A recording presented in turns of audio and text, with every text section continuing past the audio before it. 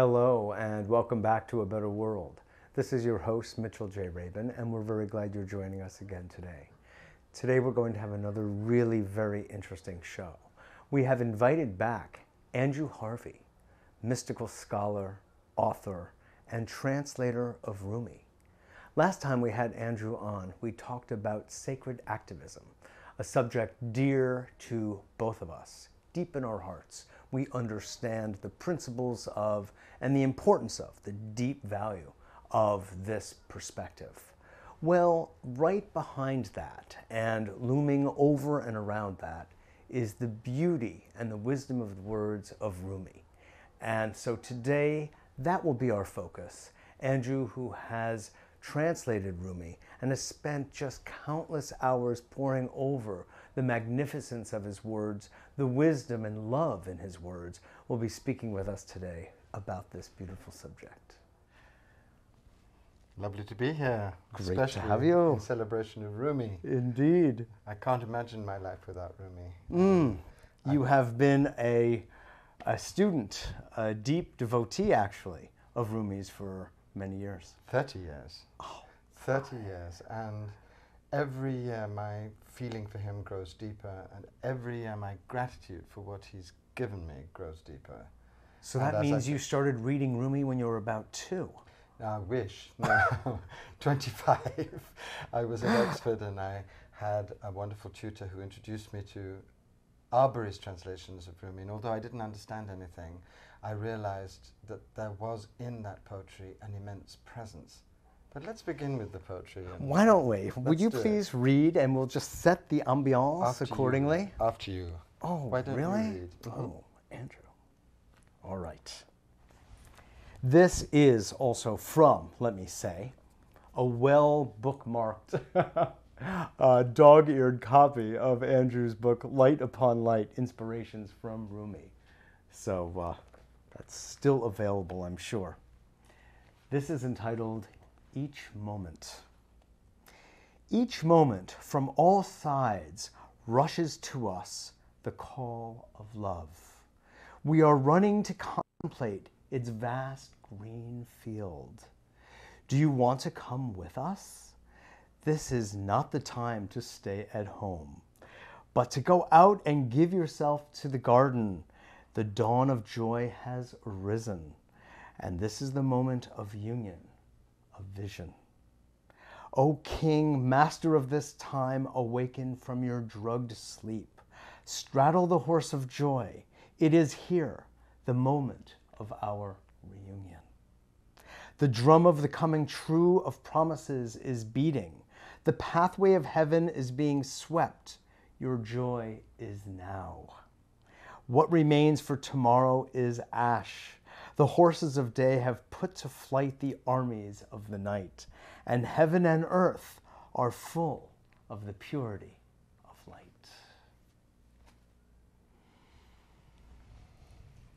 And this one Love's horse will carry you home.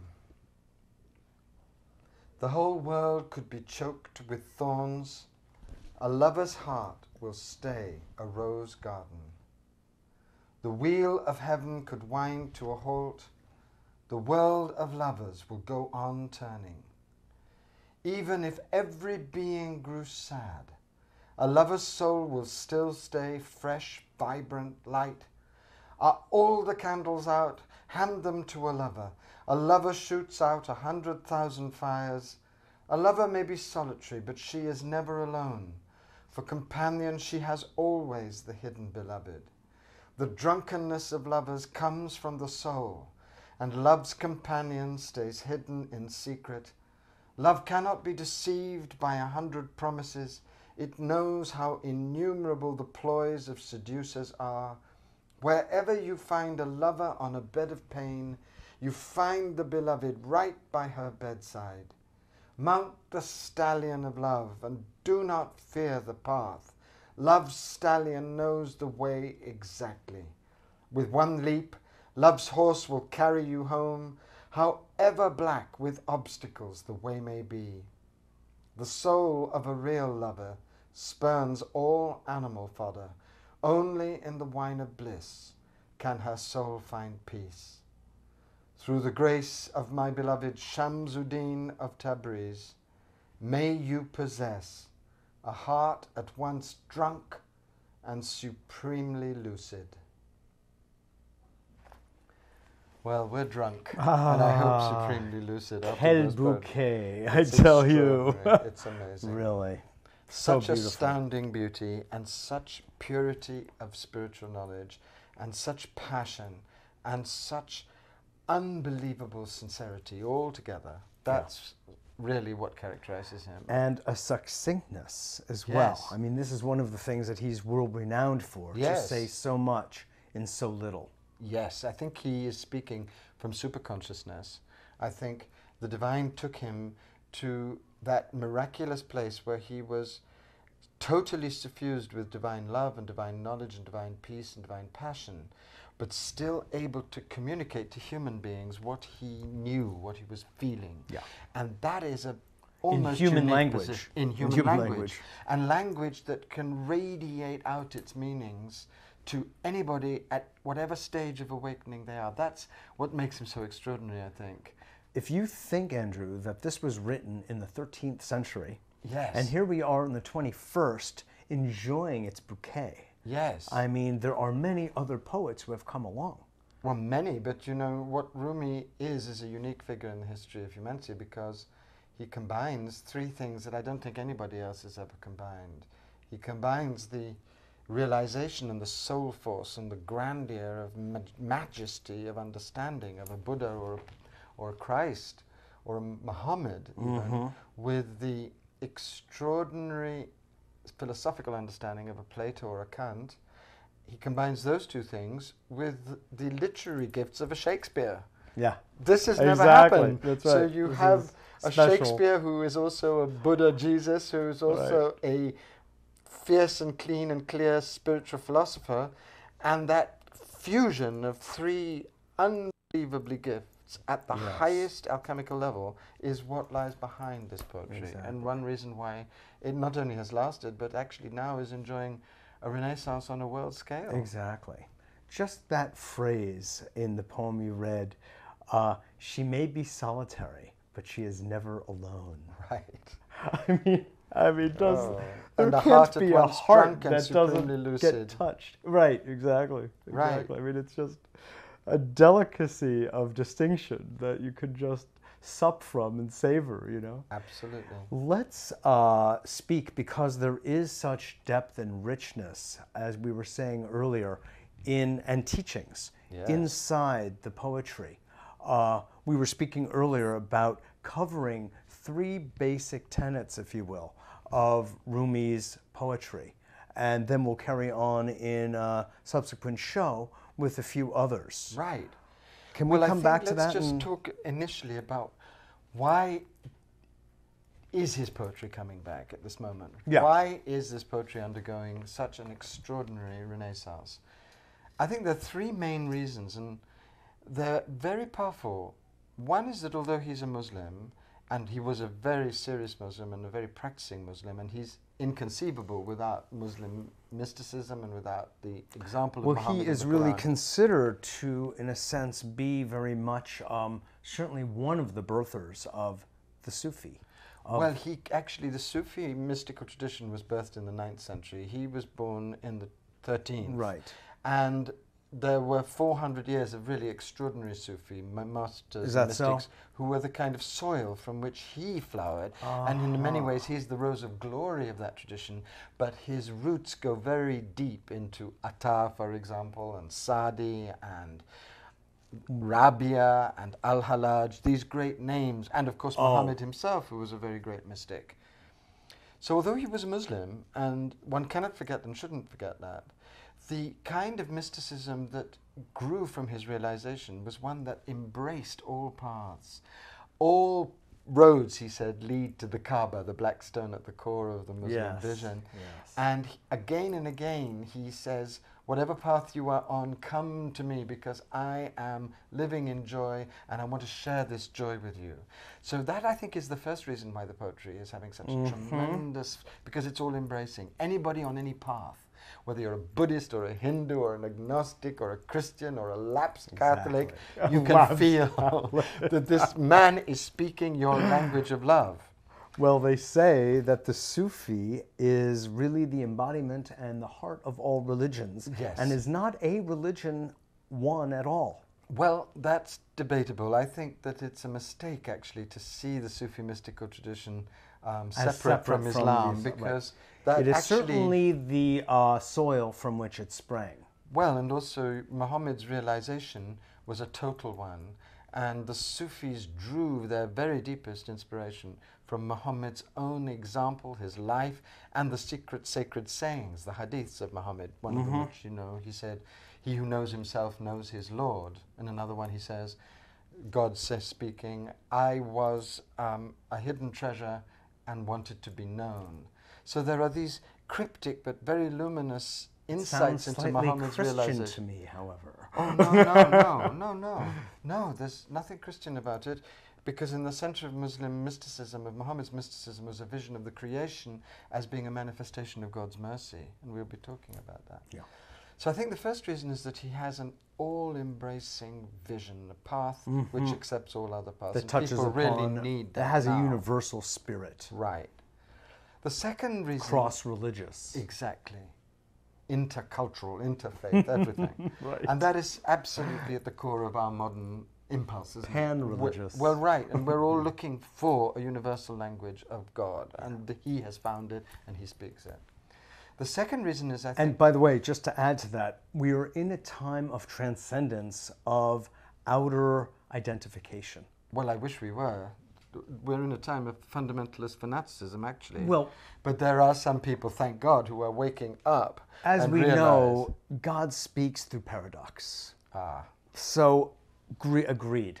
There is that rise of fanaticism and well, fundamentalism. threatening the world. Clearly, Right. understood. Right. At the same time, there is another group Right. that are going beyond all outer identification. That's right. It's that's just interesting the way these two coincide. That's why I was raising the. No, you're point. quite right. Absolutely. But please go on. No, no. The second one is that, you know, Rumi is a great philosopher. Rumi it could have been a great teacher in, in the fashion of Ramakrishna or Jesus or Socrates, but Yeah. he chose to be a poet, or God chose him to be a poet. Mm-hmm. And I think that's another reason for why he is so beloved, because he doesn't preach at us, he doesn't tell us what to do, he doesn't bring us a series of commandments. What he does is represent in language the deepest ecstatic and tender and wild inner experience. And he hmm.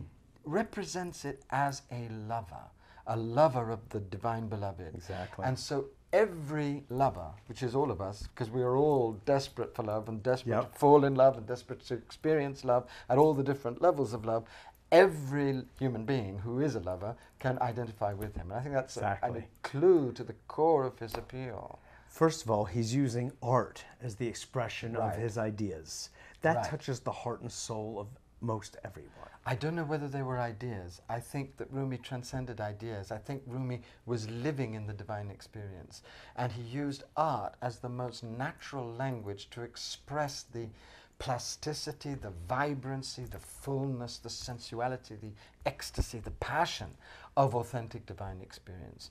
Because authentic divine experience doesn't have rules, it has a vision and a depth of inner feeling which art is actually wonderfully equipped to transmit.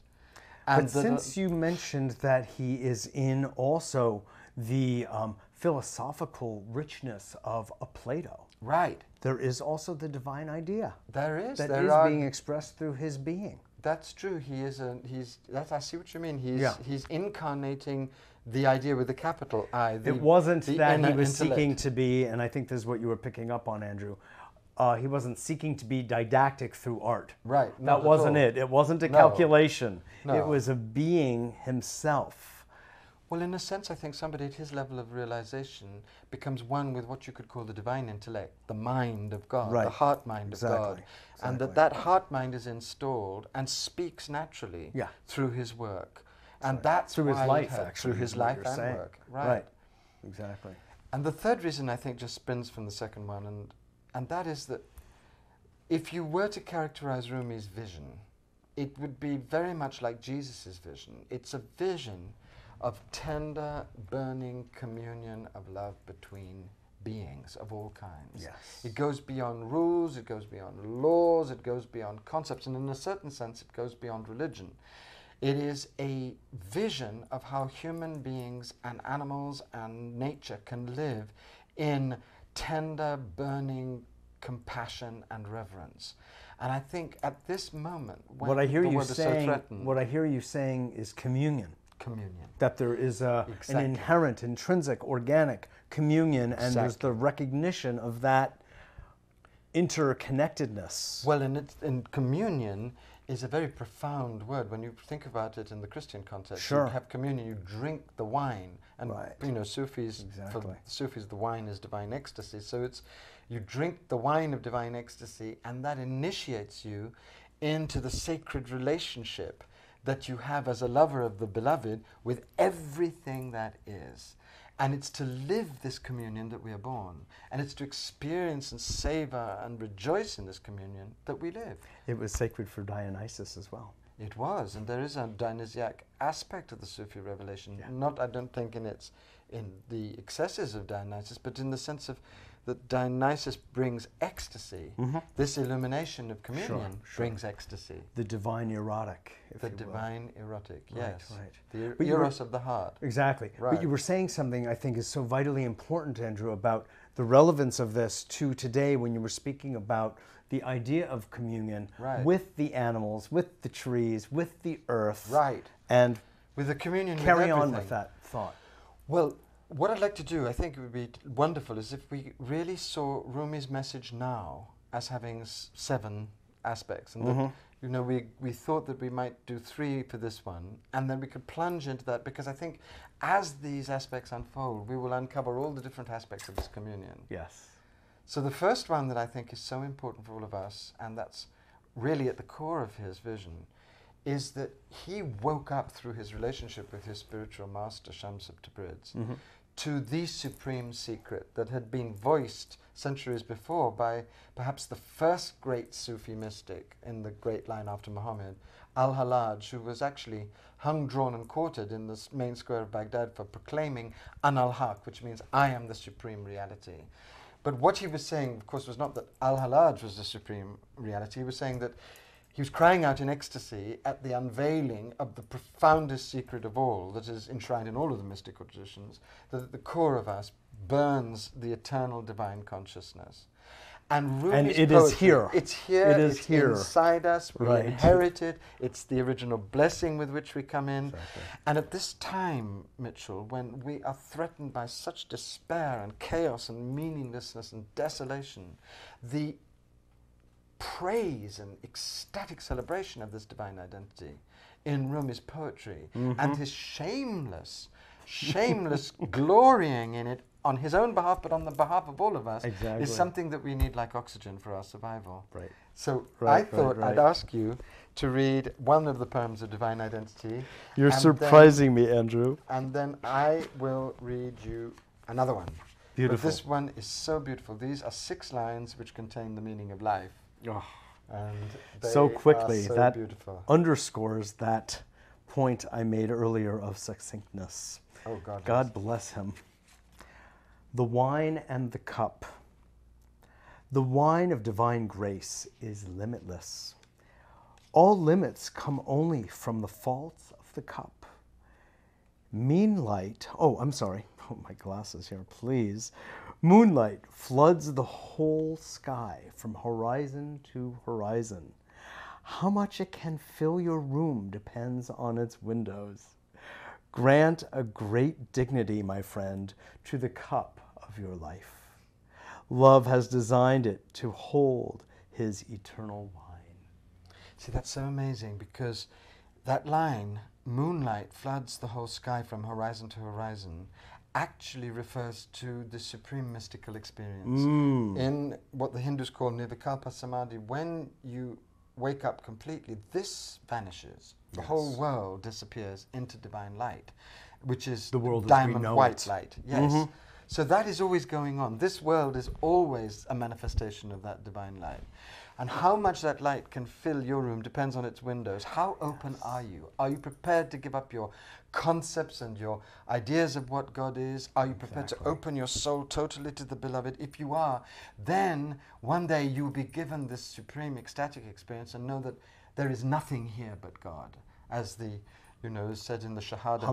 La ilaha illallah, La ilaha, there is no other God but God. But and that's God, the right. mantra, of course, that Rumi used. Of course, of And course. this is what that state feels Yep. like. Here he is describing it, Yep. and here he is speaking from within it. exactly. And one of the ways in which Rumi wrote was to cling onto a pillar. He didn't write anything actually. He got into a state of trance and he got into a state of ecstasy. He was in a deep spiritual immersion, and then these torrential golden words would pour from him and they'd be taken down. hmm So you imagine him dancing in this ecstatic That's a good state. point, though, that he was really carrying through the oral tradition Oh, yes. inherently, yes. and it's just that people penned it. Yes. But And what that's was so how we have extraordinary about the way in which he did it is that it came out in flawless couplets because he was connected with what the Hindus call paravak, the eternal word, Yes. and it sculpted itself in this perfect literary way through him. It's an amazing. the local phenomenon. manifest. The local manifestation. well, here is the local manifesting the, the absolute divine.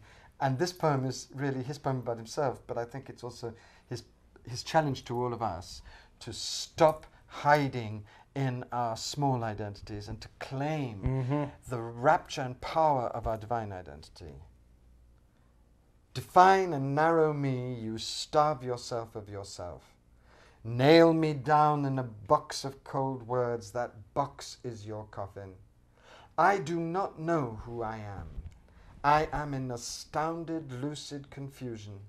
I am not a Christian, I am not a Jew, I am not a Zoroastrian, and I am not even a Muslim. I do not belong to the land or to any known or unknown sea.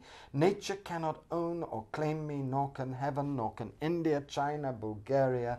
My birthplace is placelessness, my sign to have and give no sign. You say you see my mouth, my ears, my eyes, my nose. They are not mine.